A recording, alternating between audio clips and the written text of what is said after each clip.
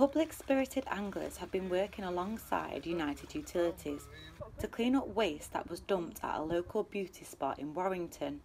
I think it's sickening. I think there's no need whatsoever. It's actually a pretty place it shouldn't be dumped upon. Fly tipping like this occurs often at Appleton Reservoir and it's a growing issue at other reservoirs across the northwest, costing the water company thousands of pounds a year to clean up.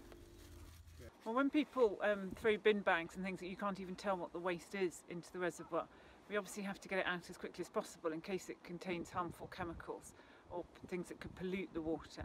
We've no idea what's in black bin bags um, and nobody wants rubbish in.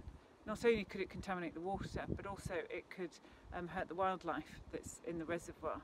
Um, so we always try and remove it as quickly as possible and it's becoming more and more of an issue um, recently. We work very closely with the police um, in areas where there's a big problem. Uh, we always ask the public to phone in and let us know if they see any rubbish, especially in the, in the reservoirs or, on the, the banks of the reservoirs or on the, the dams. Um, but what we're going to do, um, particularly in this case, is look at the possibility of putting up CCTV cameras and actually catch the guys in action who are doing it because it's becoming such an issue. And it's extremely costly, which of course our customers have to fund.